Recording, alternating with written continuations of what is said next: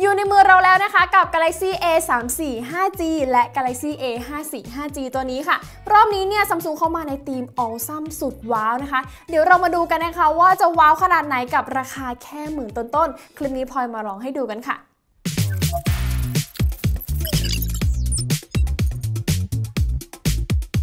วันนี้นะคะพอจะมารีวิว Galaxy A Series รุ่นใหม่ทั้ง 2 รุ่นนี้กันเลยนะคะ มาดูกันว่าจากที่พลอยได้ใช้งานจริงแล้วเนี่ยจะเป็นยังไงแล้วก็มีจุดไหนที่พลอยชอบบ้างนะคะ แต่ก่อนอื่นเนี่ยยังไงพลอยก็ฝากกดติดตามช่อง iMode Official กันไว้ก่อนด้วยนะคะ เดี๋ยวเราไปเริ่มที่น้องเล็กสุดตัวนี้กันก่อนเลยค่ะ Galaxy A 3 4 5G สำหรับสเปคคร่าวๆของ Galaxy A 3 4 5G นะคะ เรามาดูที่เรื่องของดีไซน์กันก่อนเลย จะเห็นได้ว่าซัมซุงเขาปรับดีไซน์มาใหม่ทั้งหมดเลยนะคะ ของตัว A series นี่เขาได้เอาฐานกล้องออกไปนะคะ แล้วก็ตัวเครื่องเนี่ยมีความพรีเมียมมากขึ้นกรอบเครื่องนะคะเขาใช้วัสดุเป็นพลาสติก แล้วก็ฝาหลังเนี่ยจะเคลือบกลาสติกนะคะ ก็จะเล่นแสงเล่นเงาเอาใจสาย Y2K แบบนี้สวยงามมากๆเลยค่ะ ส่วนหน้าจอนะคะเขาก็จะใช้ดีไซน์ Infinity U Display ค่ะ ก็จะเป็นรูปหยดน้ำบนหน้าจอแบบนี้เลยค่ะสำหรับเรื่องชิปนะคะของตัว Galaxy A 3 4 5G ตัวนี้เนี่ยเขามาพร้อมกับชิป MediaTek Dimensity 1080 นะคะ ซึ่งชิปตัวนี้เนี่ยเป็นชิประดับกลางตัวใหม่ของ MediaTek เลยเขาก็จะช่วยประมวลผลได้เร็ว แล้วก็จัดการพลังงานได้ดีขึ้นนั่นเองค่ะ ส่วนแรมเนี่ยให้มา8 g b ความจุ 128 g b นะคะ แล้วก็สามารถอัปเกรด micro SD card ได้สูงสุดถึง1 t b เลยทีเดียว ถ้าใครที่กลัวว่าความจำเครื่องจะเต็ม หรือว่าใครที่ถ่ายรูปเยอะๆเนี่ยต้องบอกเลยว่าตัวนี้เนี่ยตอบโจทย์เลยนะคะ เพราะว่าอัพความจุได้สูงสุดถึง1 t b เลยทีเดียวค่ะ กล้องหน้าเนี่ยเขามาพร้อมความละเอียด 13 ล้านพิกเซล ส่วนกล้องหลังมี 3 ตัวด้วยกันก็คือกล้อง main หลักเนี่ยความละเอียด 48 ล้านพิกเซล ถัดมาด้านล่างนะคะจะเป็นกล้อง ultrawide ความละเอียด 8 ล้านพิกเซล แล้วก็กล้อง macro ความละเอียด 5 ล้านพิกเซลค่ะ เรื่องของการเชื่อมต่อนะคะ แน่นอนว่าตัวนี้เนี่ยรองรับการเชื่อมต่อ 5G แล้วก็บลูทูธ 5.3 นั่นเอง และที่สำคัญนะคะไฮไลท์เด่นของเขาเลยก็คือเขาให้แบตมาถึง 5,000 มิลลิแอมเลยค่ะ เรียกได้ว่าใช้งานแบบจัดหนักจัดเต็มทั้งวันได้แน่นอนนะคะและที่สำคัญเลยก็คือเขาให้ความทนน้ำทนฝุ่นมาที่ระดับ IP67 เลยทีเดียวค่ะ ส่วนเรื่องของลำโพงนะเขาให้ลำโพงมาเป็นแบบคู่ค่ะ เวลาใช้งาน entertainment ต่าง ๆ เนี่ย เรียกได้ว่าฟังเสียงได้แบบรอบทิศทางมาก ๆ เลย แล้วก็รองรับระบบ Dolby Atmos ด้วยนะคะ เวลาที่เราใช้งานเนี่ยพลอยก็แนะนำให้เปิดไว้นะคะ ก็จะฟังเสียงได้ surround มากขึ้นค่ะเดี๋ยวเรามาดูการใช้งานจริงกันเลยนะคะ กับตัว Galaxy A34 5G ตัวนี้ค่ะ หลังจากที่พลอยได้ไปลองใช้งานมาแล้วเนาะซึ่งตัว Samsung เนี่ยเขาก็ชูจุดเด่น ของตัว Galaxy A34 5G ตัวนี้มา 4 อย่างด้วยกันค่ะ อย่างแรกก็คือ Awesome Design เรื่องของดีไซน์สุดว้าวนั่นเอง ต้องบอกเลยนะคะว่าดีไซน์ใหม่ตัวนี้เนี่ยเขาเอาฐานกล้องออก แล้วก็มีการใส่สีเงินเข้ามาใหม่ก็คือเป็นสี silver เป็นเล่นแสงเล่นเงาแบบนี้ เรียกได้ว่าเวลาใช้งานจับถือเนี่ยสวยงามแล้วก็ดูมินิมอลมากๆเลยนะคะ ส่วนกรอบเครื่องนะคะ ก็มีความโค้งมนนะคะ เวลาจับถือเนี่ยก็คือเข้ากับฝ่ามือของเราได้ดี ใช้งานสะดวกนะคะกำลังดีเลยแบบนี้ เรื่องของการพกพานะคะ ก็คือพกพาง่ายจะใส่กระเป๋ากางเกงหรือว่าใส่กระเป๋าถือเนี่ยก็ทำได้ง่าย ๆเลยค่ะ ส่วนขนาดของตัวเครื่องนะคะ ก็จะมีความใหญ่ แต่ว่าเขาให้น้ำหนักที่เบาก็คือเรียกได้ว่าพกพาง่ายนั่นเองค่ะแต่อาจจะมีติดอยู่เรื่องหนึ่งนะคะ ก็คือเวลาที่ใช้งานจริงแล้วใช้ไปนานๆเนี่ยอาจจะเกิดรอยนิ้วมือที่ฝาหลังเครื่องได้นะคะ เพราะว่าฝาหลังเครื่องเนี่ยเขาเป็นแบบด้านแต่พลอยก็แนะนำว่าถ้าใครเอาไปใช้งานจริงก็อาจจะซื้อเคสมาใส่ก็สามารถลดปัญหาตรงนี้ไปได้นะคะ Awesome ต่อไปนะคะก็คือ Awesome Camera สำหรับตัว Galaxy A 3 4 5G ตัวนี้ค่ะ ต้องบอกเลยว่าเวลาที่เราเอามาถ่ายรูปทั้งกล้องหน้ากล้องหลังนะคะ ก็คือสามารถเก็บรายละเอียดได้คมชัดมาก ๆ เลยค่ะ แล้วก็ให้สีผิวของตัวแบบเนี่ยสวยงามมาก ๆ ถ้ากล้องหน้านะคะก็จะให้ผิวหน้าที่เนียนนะคะ ถ้าเกิดว่าเปิดโหมด Beauty เนี่ยผิวหน้าของเราเนี่ยก็จะเนียนไปอีกเลยค่ะส่วนเรื่องของวิดีโอนะคะเขาบอกว่ารองรับความละเอียดวิดีโอ 4K 30 frame rate ทั้งกล้องหน้าแล้วก็กล้องหลังเลยเรียกได้ว่าใครที่เป็นสาย vlog นะคะ ตอบโจทย์มากๆนะคะ เพราะว่าพลอยได้ไปลองถ่ายมาแล้ว ตัววิดีโอเนี่ยเก็บรายละเอียดได้คมชัดแล้วก็ปรับแสงได้สวยงามมากๆเลยค่ะ แต่ก็มีเรื่องหนึ่งนะคะ กล้องตัวนี้เนี่ยทั้งกล้องหน้ากล้องหลังแล้วก็วิดีโอเนี่ยเขาจะออก skin tone ที่สีแดงๆนิดๆอมชมพูหน่อยๆนะคะ แต่ถ้าหากว่าใครไม่ติดอะไรเนี่ยตัวนี้ก็ถือว่า ตอบโจทย์มากๆเลย เพราะว่าราคาเขาให้มาแค่หมื่นสองแล้วมีทอนเนี่ยก็ถือว่าคุ้มค่าตัวมากๆเลยค่ะ มาต่อกันที่เรื่องของ Awesome Display ของตัว Galaxy A 3 4 5G นะคะ ต้องบอกก่อนว่าตัวนี้ซัมซุงเขาก็ชูจุดเด่นเรื่องของหน้าจอเหมือนกัน เพราะว่าเขาให้หน้าจอมาที่ขนาดค่อนข้างใหญ่นะคะ ก็คือ 6.6 นิ้วความละเอียด Full HD Plus แล้วก็ให้จอ Super AMOLED มาด้วย เรียกได้ว่าเวลาที่เราใช้งานดูหนังฟังเพลงหรือเล่นโซเชียลเนี่ยเขาก็จะให้สีสันที่สดใสมากๆนะคะ รวมถึง ให้ refresh rate มาที่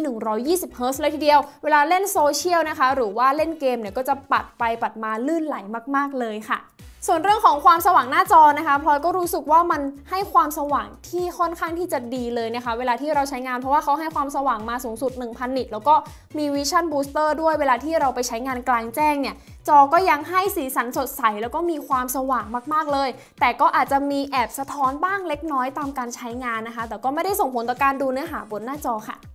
และอีกหนึ่ง awesome สุดว้าวของตัว A345G ตัวนี้นะคะ ก็คือ awesome battery นั่นเอง ต้องบอกไว้ว่าเวลาที่พลอยได้ไปลองใช้งานมาแล้วนะคะ จุดเด่นของเขาเลยเนี่ยก็คือการจัดการความร้อนค่ะ เวลาที่พลอยเอาไปเล่นโซเชียลดูหนังฟังเพลงเนี่ยก็คือเครื่องแทบจะไม่ร้อนเลยนะคะ แล้วก็ลองเล่นเกมมาแป๊บหนึ่งด้วย อาจจะมีแค่ร้อนแบบอุ่นๆ อุ่นแบบอุ่นนิดเดียวตรงหลังเครื่องนะคะ แต่ก็ไม่ได้รู้สึกว่ามันส่งผลต่อการใช้งาน แล้วก็ที่สำคัญเนี่ยแบต อึดมากๆเลยนะคะ เพราะว่าเขาให้แบตมา 5,000มิลลิแอมเนาะพลอยได้เอาไปลองใช้งานถ่ายรูปในช่วงครึ่งบ่ายจนถึงค่ำๆแล้วพอกลับมาเนี่ยแบตก็เหลือประมาณสัก 40-50%นะคะแล้วพลอยก็เอามาเล่นโซเชียลแล้วก็ดูหนังต่ออีก 2-3 ชั่วโมงอะ่ะแบตก็ยังเหลืออยู่ก็ยังไม่หมดเลยนะคะเรียกได้ว่า แบตอึดทนทั้งวันจริง ๆ ค่ะ ส่วนเรื่องของการเล่นเกมนะคะ ใครที่มีข้อสงสัยว่าเล่นเกมแล้วความร้อนเป็นยังไง แบตลดไหมแบตไหลไหมเนี่ยตรงนี้ก็ต้องบอกเลยว่าเดี๋ยวพี่หนึ่งไปลองเล่นแล้วก็ลองใช้งานให้ดูกันนะคะ แต่ก่อนที่เราจะไปชมพาร์ทพี่หนึ่งนะคะ เดี๋ยวพลอยจะพาทุกคนไปดูเรื่องของการใช้งาน Galaxy A545G กันก่อนค่ะ มาดูสเปคคร่าวๆ ของตัว Galaxy A545G ตัวนี้กันก่อนนะคะ ต้องบอกว่ารุ่นนี้เนี่ยซัมซุงเขาปรับดีไซน์มาใหม่ หน้าตาเนี่ยคล้ายรุ่นพี่เรือธงอย่าง S23 แล้วก็ S23 Plus มากๆเลยนะคะ ก็คือเขาได้มีการปรับเอาฐานกล้องออกนะคะ แล้วก็ใส่กรอบเลนส์เข้ามาก็จะช่วยให้เวลาใช้งานเนี่ยมีความพรีเมียมมากขึ้น วัสดุกรอบตัวเครื่องนะคะ ก็จะเป็นแบบอลูมิเนียมนะคะ แล้วก็ด้านหลังก็จะเป็นฝากระจกแบบนี้ ส่วนของหน้าจอนะคะเขาก็จะใช้ดีไซน์หน้าจอเป็น Infinity O Display เป็นรูบนหน้าจอแบบนี้ค่ะ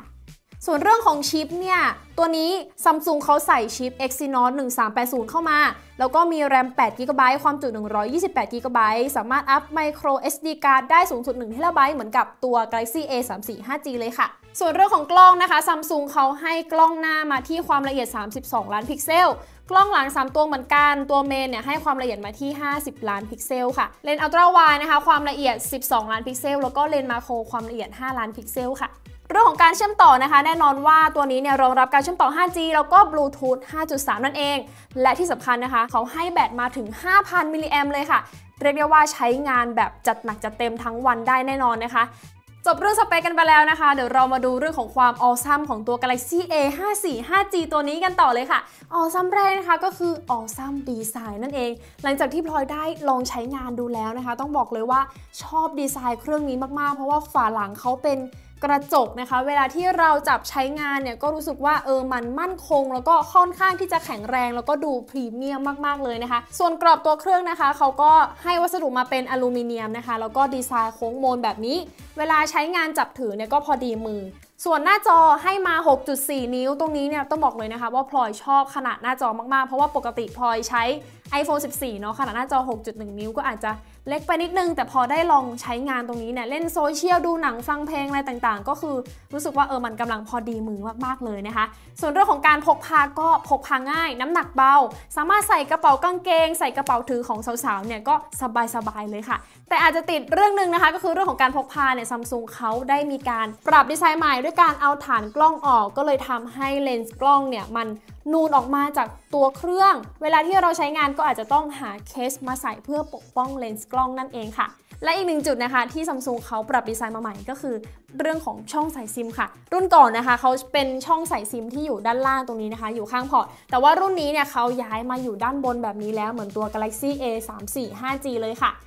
ออซัมต่อไปนะคะก็คือเรื่องของ Awesome Camera นั่นเอง ต้องบอกว่า Samsung เขาก็ชูจุดเด่นเรื่องของกล้องในตัว Galaxy A545G ตัวนี้ด้วยนะคะ ต้องบอกเลยว่าพลอยได้ไปทดลองมาแล้วในหลาย ๆ โหมดนะคะ ไม่ว่าจะเป็นกล้องหน้ากล้องหลังโหมด Beauty Ultra Wide โหมดกลางคืนก็คือทดลองมาหมดแล้วนะคะ เดี๋ยววันนี้เนี่ยพลอยจะมาเล่าให้ทุกคนได้ฟังกัน ไปเริ่มที่เรื่องของกล้องหน้ากันก่อนเลย ต้องบอกเลยว่ากล้องหน้าพลอยชอบมากๆนะคะเขาถ่ายรูปออกมาได้สวยงาม แล้วก็สกินโทนเนี่ยคือดีสุดๆเลยสาวๆเนี่ยน่าจะชอบมากๆเลยนะคะ แล้วก็ให้สีสันที่คมชัดสดใส เพราะว่าเขาให้ความละเอียดของกล้องหน้าเนี่ยอยู่ที่ 32 ล้านพิกเซล ก็คือเก็บรายละเอียดได้คมชัดตัว HDR ของกล้องหน้าเนี่ยทำได้ดีเลยนะคะ เวลาถ่ายย้อนแสงเขาก็จะปรับภาพให้เราสว่างขึ้น ตัว background รวมถึงตัวคนเนี่ยก็ยัง สว่างชัดเหมือนเดิมเลยค่ะ ส่วนเรื่องของโหมด Beauty เนี่ยพลอยรู้สึกว่ามันก็แทบจะไม่ต่างกันเลยนะคะ เพราะว่ากล้องหน้าปกติเขาก็ปรับผิวเราให้หน้าเนียนอยู่แล้ว และยิ่งเปิดโหมด Beauty เข้าไปอีกหน้าเราก็จะเนียนขึ้นอีก แต่ก็แล้วแต่คนชอบนะคะ แต่ส่วนตัวพลอยก็รู้สึกว่าเออกล้องหน้าปกติเขาก็ทำได้ดี แล้วก็ถ่ายรูปออกมาได้เป็นธรรมชาติมาก ๆ เลยค่ะสำหรับโหมด Portrait ของกล้องหน้านะคะ หลังจากที่พลอยได้ถ่ายมาแล้วเนี่ยก็รู้สึกว่าเออเขาทำได้เป็นธรรมชาติมากขึ้นนะคะ แล้วก็เก็บรายละเอียดเรื่องของผม หรือว่าตัววัตถุกับฉากหลังเนี่ยได้ดี มาต่อกันที่กล้องหลังของตัว Galaxy A 5 4 5 G ตัวนี้กันต่อเลยนะคะ พอชอบการถ่ายภาพของเขามากๆเลยนะคะ เพราะว่าเขาถ่ายออกมาได้สวยงามมากๆ ปรับสีผิว ปรับแสง ปรับ skin tone ออกมาได้ดีมากๆ แล้วเขาก็ปรับผิวให้ถ่ายแล้วออกมาเนียนด้วยนะคะ เพราะว่าเขาให้ความละเอียดมา 50 ล้านพิกเซลเนาะ แล้วก็จะเก็บรายละเอียดได้ดี ไม่ว่าจะเป็นตัวคนหรือว่าการถ่ายภาพวิวเนี่ยเขาก็จะเก็บรายละเอียดออกมาได้ดีเลยค่ะ เดี๋ยวเราไปต่อกันที่โหมด Portrait ของกล้องหลังกันดูบ้างนะคะ จากที่พลอยได้ลองถ่ายมาแล้วเนี่ยเขาก็สามารถเก็บรายละเอียดได้ดีนะคะ แล้วก็เบลอพื้นหลังก็ทำได้ดี แต่ถ้าหากว่าเราเปิดเบลอพื้นหลังเยอะๆเนี่ยอาจจะเก็บได้ไม่ค่อยเนียนเท่าไหร่ ถ้าใครที่อยากให้ภาพเป็นธรรมชาติมากขึ้นนะคะ ก็อาจจะปรับความเบลอของพื้นหลังลงเนี่ยตัวนี้ก็จะทำให้เป็นธรรมชาติมากขึ้นส่วนเรื่องต่อไปที่ชอบสำหรับกล้องหลังตัวนี้นะคะ ก็คือเลนส์ ultrawide นั่นเอง เลนส์นี้เนี่ยเขาให้มา 12 ล้านพิกเซล เวลาถ่ายรูปเนี่ยก็คือเก็บภาพได้กว้างมากสำหรับขอบภาพเนี่ยลองขยายหรือว่าซูมดูแล้วก็ยังเห็นรายละเอียดชัดอยู่นะคะ เพราะว่าปกติเลนส์ ultrawide ตรงขอบภาพเนี่ยก็อาจจะมีเบลอๆบ้าง แต่ตัวนี้ก็คือถือว่าเก็บรายละเอียดได้ค่อนข้างดีเลยค่ะส่วนเรื่องของการถ่ายย้อนแสงสำหรับกล้องหลังตัวนี้เนี่ยต้องบอกเลยว่าพลอยก็ชอบเหมือนกันนะคะเพราะว่าเขาปรับพื้นหลังให้มีความสว่างน้อยลงนะคะแล้วก็จะปรับ skin tone หน้าเราเนี่ยให้ดูสว่างแล้วก็สวยงามมากขึ้นตรงนี้เนี่ยพลอยบอกเลยนะคะว่าชอบมากๆ และอีกอย่างหนึ่งก็คือ ตัวนี้ถ่ายอาหารได้ดีมากๆ เพราะว่าskin tone ของกล้องหลังของตัว Galaxy A 5 4 5 G ตัวนี้เนี่ยเขาจะถ่ายออกมาได้ค่อนข้างสดนะคะ แต่ถ้าเปิดโหมดถ่ายอาหารนะคะ พลอยได้ลองถ่ายมาดูแล้วเนี่ย ก็จะทำให้อาหารของเราเนี่ยมีสีสันที่สดใสน่ากินมากยิ่งขึ้นนั่นเอง อีกอย่างหนึ่งที่พลอยไปถ่ายมานะคะ ก็คือรูปน้องแมวนั่นเองด้วยการใช้กล้อง Galaxy A 5 4ตัวนี้ในการถ่ายนะคะ ภาพที่ได้ออกมาเนี่ยถือว่าเก็บรายละเอียดได้ค่อนข้างดีเลยนะคะ ไม่ว่าจะเป็นตัวขนของน้องแมวหนวดหรือว่า การสะท้อนของดวงตาน้องแมวเนี่ยก็คือค่อนข้างที่จะคมชัดเลย แต่ก็มีบางรูปนะคะที่พลอยกดโฟกัสแค่ตัวบริเวณใบหน้าของน้องแมวนะคะบริเวณอื่นๆเนี่ยก็อาจจะมีเบลอๆไปบ้างนะคะ แต่รูปอื่นๆ โดยรวมเนี่ยก็ถือว่าสามารถเก็บรายละเอียดตัวขนของแมวได้ดีเลยทีเดียวค่ะ ภาพรวม skin tone ของทั้งกล้องหน้าแล้วก็กล้องหลังของตัว Galaxy A 5 4 5 G ตัวนี้นะคะ ก็อาจจะ ออกติดโทนเหลืองนิดๆนะคะ แต่ก็ไม่ได้มีผลอะไรมาก สามารถเอาไปปรับแต่งสีเพิ่มเติมได้ แต่โดยรวมเนี่ยพลอยก็คือชอบมากๆเลยค่ะมาต่อกันที่โหมดกลางคืนของกล้อง Galaxy A 5 4 5 G ตัวนี้นะคะ ต้องบอกเลยว่าเขาทำได้ดีแล้วพลอยก็ชอบมาก ๆ เลยนะคะ หลังจากที่ได้ลองไปถ่ายมาดูแล้วเนี่ย ต้องบอกเลยว่าเขาปรับสีผิวของเรานะคะ ให้ดูสว่างแล้วก็ภาพดูสว่างขึ้น ตัวผิวของตัวแบบเนี่ยคะก็คือเนียนมากๆเลย แล้วยิ่งเปิดไนท์โหมดด้วยนะคะ เขาก็จะปรับผิวของเราให้เนียนขึ้นไปอีก แต่ว่ารายละเอียดความคมชัดของใบหน้าเนี่ยก็อาจจะลดลงนิดนึงก็แล้วแต่ความชอบของแต่ละคนนะคะ แต่ว่าส่วนตัวพลอยแล้วเนี่ยก็คือถ้าไม่ได้เปิดไนท์โหมดก็ถ่ายปกติเนี่ยก็ถือว่ารอดเลย สวยงามมากๆ ส่วนเรื่องของการถ่ายวิวในตอนกลางคืนนะคะ ก็อาจจะมี noise เกิดขึ้นบ้างเล็กน้อยในตัวท้องฟ้า หรือว่าบริเวณภาพที่เป็นสีมืดๆนะคะ ถ้าเราเปิดไนท์โหมดสำหรับการถ่ายวิวเนี่ยเขาก็จะไปช่วยลด noise ในบริเวณที่เป็นสีดำตัวนี้เนี่ยก็จะช่วยให้ภาพคมชัด แล้วก็สีสันสวยงามตอนที่ถ่ายกลางคืนได้ดีเลยค่ะดูเรื่องการถ่ายภาพนิ่งไปแล้วนะคะ เดี๋ยวเรามาดูเรื่องของการถ่ายวิดีโอของกล้อง Galaxy A 5 4 5 G ตัวนี้กันบ้างค่ะ ต้องบอกว่า ออซัมวิดีโอจริงๆนะคะ เพราะว่าพลอยได้ลองถ่ายมาแล้วเราก็รู้สึกว้าวมากๆเลยนะคะ เดี๋ยวเราไปดูเรื่องของการถ่ายวิดีโอกล้องหน้ากันก่อนเลย ต้องบอกว่าชอบมากๆเลยนะคะ เพราะว่าเขาปรับสีผิวของเราให้มีความสว่างแล้วก็เนียนมากๆ หน้าเนียนสุดๆ แล้วก็เก็บรายละเอียดได้คมชัดเลยนะคะ เพราะว่าเขาให้ความละเอียดมาที่ระดับ 4K เลยต้องบอกเลยว่า สายถ่าย vlog หรือว่าสาย vlogger เนี่ยต้องชอบมากๆเลยนะคะสำหรับเรื่องของการปรับแสงวิดีโอกล้องหน้านะคะพลอยก็ได้ลองถ่ายมาแล้วนะคะ ไม่ว่าจะหันไปทางด้านย้อนแสงหรือว่ารับแสงเนี่ยเขาก็จะปรับแสงให้หน้าของเราแบบ auto เลยนะคะ แล้วก็ไม่มีอาการวืดอะไรใด ๆ เลย และที่สำคัญเขาก็ยังปรับโฟกัสให้เราแบบเร็วมากๆเลยนะคะพลอยได้ไปลองถ่ายวิดีโอมา 2 คนแล้ว ก็คือไปถ่ายกับพี่ปาล์มมาเนาะ พลอยได้ถ่ายกล้องหน้าของตัวเองนะคะ แล้วก็ pan ไปที่พี่ปาล์มเนี่ยเขาก็จะจับโฟกัสหน้าพี่ปาล์มแบบอัตโนมัติเลย และที่สำคัญก็คือสามารถสลับกล้องหน้ากล้องหลัง แล้วก็จับโฟกัสได้เร็วด้วยนะคะวิดีโอกล้องหน้าไปแล้วนะคะ เดี๋ยวเรามาดูวิดีโอกล้องหลังกันบ้าง ตรงนี้เนี่ยความละเอียด 4K 30 frame rate เหมือนกับกล้องหน้าเลย แล้วก็ปรับโทนสีผิวของเราให้สวยด้วยนะคะ หลังจากที่พลอยได้ไปถ่ายมาเนาะ แล้วก็ตรงนี้เนี่ยเขามีกันสั่น OIS มาให้ในรุ่นนี้นะคะ ก็ถือว่าทำได้ดีเลยนะคะ อาจจะมีสั่นๆเล็กน้อยเวลาที่เราเดินถือ แต่ก็ถือว่านิ่งพอสมควรเลย และถ้าหากว่าเราเปิดโหมด Super Steady เทียบกันนะคะ ก็ถือว่าทำได้ดีกว่ามากๆ แต่ก็มีจุดหนึ่งสำหรับการเปิดโหมด Super Steady นะคะ ก็คือเขาจะลดความละเอียดลงอยู่ที่ 1080p Full HD นั่นเองแต่ว่า ถ้าเราได้ราคามาเท่านี้ก็ถือว่าคุ้มแล้วนะคะสำหรับการกันสั่นของวิดีโอทั้งคู่นี้นะคะ ต่อไปในเรื่องของ All Pixel Auto Focus ที่ Samsung เขาใส่เข้ามาแล้วเขาก็เป็นจุดเด่นของกล้อง Galaxy A 5 4 5 G ตัวนี้เหมือนกัน ก็รู้สึกว่าเออมันจับโฟกัสได้ดีนะคะ ทั้งการถ่ายรูปที่เป็นวัตถุหรือว่าการจับโฟกัสที่ใบหน้าคนเนี่ยก็รู้สึกว่าเออเขาทำได้ดี แล้วก็เร็วไม่มีอาการวืดหรืออะไรเลยค่ะ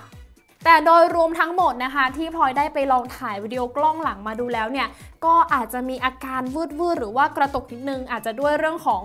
อการใช้งานทั้งวันใช้งานเครื่องหนักแล้วก็อากาศร้อนตัวกล้องหรือว่าตัวเซ็นเซอร์กล้องเนี่ยก็อาจจะมีค้างหรือว่ากระตุกบ้างตรงนี้เนี่ยก็อาจจะไม่ได้มีผลเท่าไหร่นะคะ เพราะว่าพลอยเนี่ยไปลองถ่ายมาทั้งวันดูแลเนาะ แต่ถ้าหากว่าการใช้งานจริงเราอาจจะออกไปถ่ายแค่ที่คาเฟ่ประมาณ 1-2 ชั่วโมงตรงนี้เนี่ย ก็อาจจะไม่ได้มีผลอะไรค่ะ ส่วนการถ่ายวิดีโอในช่วงกลางคืนเนี่ยตรงนี้ก็อาจจะไม่ค่อยตอบโจทย์เท่าไหร่นะคะเพราะว่าเวลาเราถ่ายเนี่ยวิดีโอเขาก็จะปรับให้ภาพสว่างขึ้นก็จริง แต่อาจจะมี noise เกิดขึ้นค่อนข้างเยอะนะคะ แล้วถ้ายิ่งเปิดโหมด super steady เข้าไปอีกเนี่ยเขาก็จะลดความละเอียดลง ภาพก็อาจจะไม่ค่อยชัดเท่าไหร่ค่ะ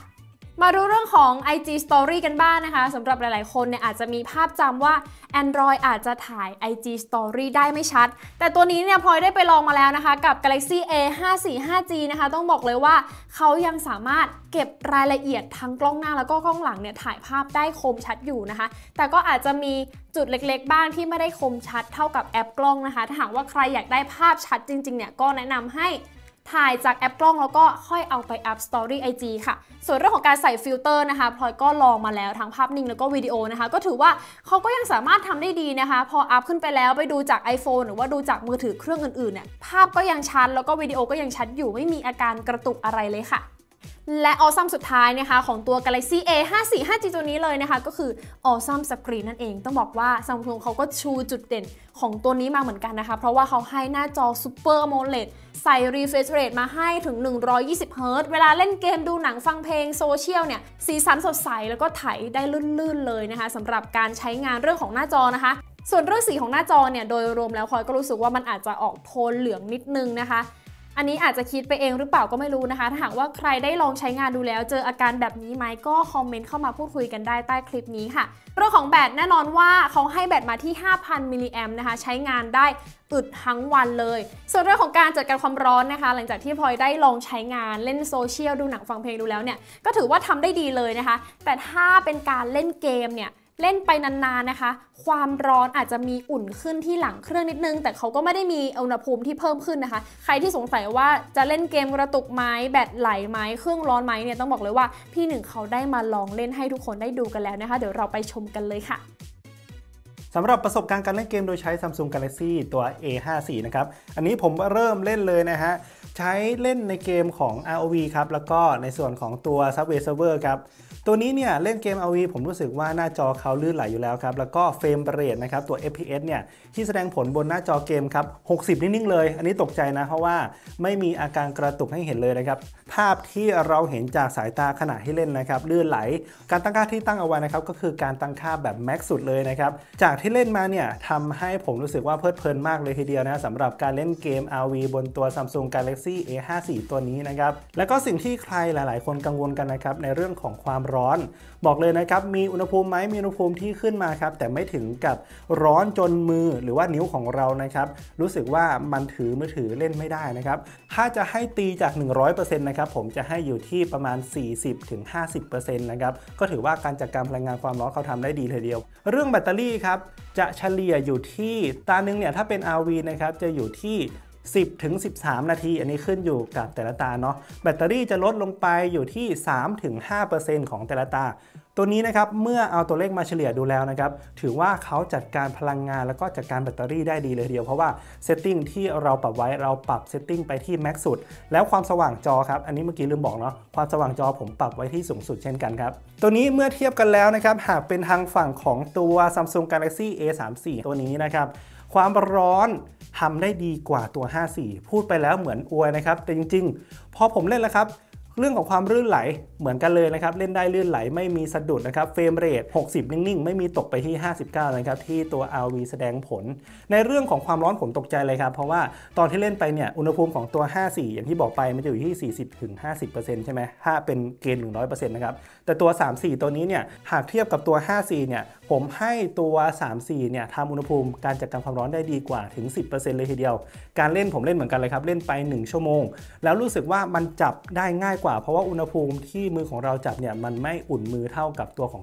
54ถามว่าข้อแตกต่างตรงนี้ระหว่างชิปประมวลผลในเรื่องของการเล่นเกมเนี่ยถ้าเป็นเรื่องของตัวเลขเนี่ยมันจะไม่ต่างกัน แต่หากเป็นเรื่องของสายตาที่เรามองเห็นนะครับในเรื่องของเฮิร์ตจอนะครับการเคลื่อนไหวต่างๆเนี่ยผมจะสังเกตเห็นได้ครับว่า การเล่นเกมบนตัวเครื่องของ Samsung Galaxy A34 frame มันจะ drop ลงมาจากที่สายตาเราเห็นนะครับ1-2 frame มันจะไม่ได้ลื่นไหลแบบไหลลื่น flow ไปเหมือนกับตัวของ 54 แต่ถามว่าการเล่นเกมกระตุกไหมมันไม่กระตุกครับ แต่สายตาเนี่ยเราจะสังเกตเห็นได้นะครับสำหรับตัว 34 ตัวนี้ เพราะอะไรเพราะว่าผมลองเทสกับตัว RV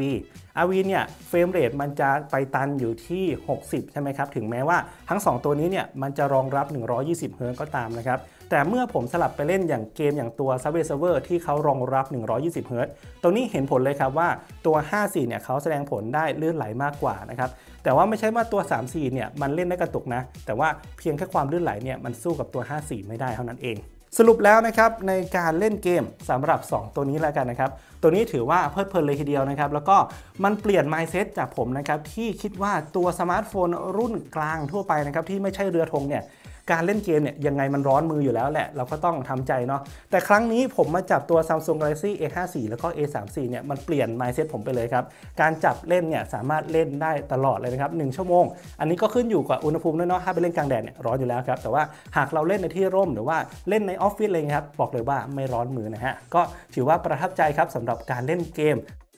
จบกันไปแล้วนะคะสำหรับการรีวิวประสบการณ์การใช้งานหลังจากที่พลอยได้ใช้ Galaxy A 3 4 5 G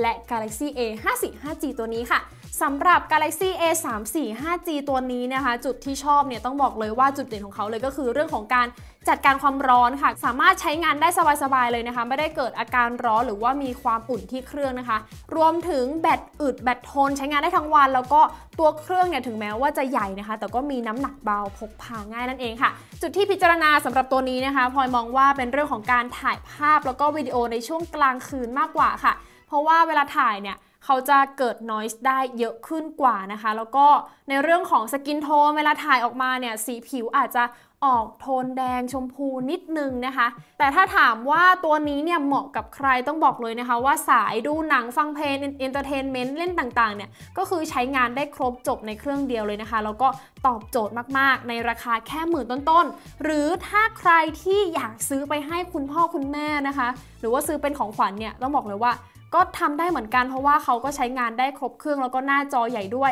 ถือว่าตอบโจทย์มาก ๆ เลยค่ะสำหรับ Galaxy A 5 4 5G ตัวนี้นะคะ หลังจากที่พลอยได้ใช้งานมาแล้วเนี่ย เรียกได้ว่าจุดที่ชอบเนี่ยก็คือเรื่องของดีไซน์เลยค่ะอย่างแรกเลยนะคะก็คือด้วยความที่ฝาหลังเขาให้มาเป็นกระจกเวลาใช้งานเนี่ยก็จะรู้สึกพรีเมียมแล้วก็พกพาได้ง่ายสะดวก แบตอึดแล้วก็ที่สำคัญก็คือเรื่องกล้องนั่นเองพลอย ชอบมากๆสำหรับตัวนี้นะคะ ทั้งกล้องหน้ากล้องหลังถ่ายวิดีโอเนี่ยคือตอบโจทย์มากๆเลยนะคะ แต่ว่าจุดที่พิจารณานิดนึงก็คือเรื่องเดียว จะเป็นเรื่องของความอุ่นในตัวเครื่องนั่นเอง เวลาที่ใช้งานเนี่ยก็อาจจะมีความอุ่นๆนิดนึงที่ฝาหลังเครื่องนะคะ แต่ก็อาจจะไม่ได้มีผลต่อการใช้งานมาก เพราะว่าเขาไม่ได้เป็นความอุ่นที่ร้อนจัดขนาดนั้นนะคะ และถ้าถามว่าตัวนี้เนี่ยเหมาะกับใครต้องบอกว่า ในราคา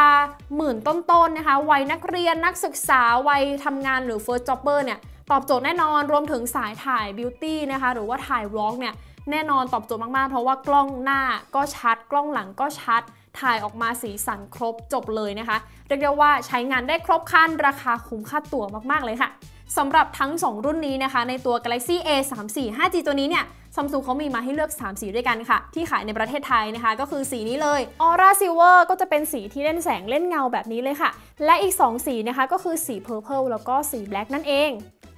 ส่วนตัวนี้นะคะ Galaxy A 5 4 5G นะคะ ซัมซุงเขามีให้เลือก 3 สีเหมือนกันเลยนะคะ สีนี้เลย สีแรกจะเป็นสี Awesome Lime นะคะ จะเป็นสีเขียวๆ มะนาวมะนาวแบบนี้ แล้วก็จะมีสี Awesome Violet แล้วก็สี Awesome Graphite นะคะ และก็ยังมีสีพิเศษเข้ามาด้วยนะคะ ก็คือสี Awesome White ที่ขายแค่เฉพาะหน้าเว็บไซต์ของ Samsung เท่านั้นค่ะ และอีกอย่างหนึ่งนะคะสำหรับ Galaxy A Series รุ่นใหม่ทั้ง 2 รุ่นนี้ ในกล่องเขาไม่ได้มีการแถมอะแดปเตอร์หรือว่าฟิล์มติดหน้าจอมาให้นะคะ ถ้าใครซื้อไปเนี่ยก็ต้องไปหาซื้ออะแดปเตอร์หรือว่าฟิล์มติดหน้าจอมาใส่เองค่ะในรุ่นนี้นะคะ Galaxy A 5 4 5G ขายในราคา 13,999 บาท และ Galaxy A 3 4 5G ขายในราคา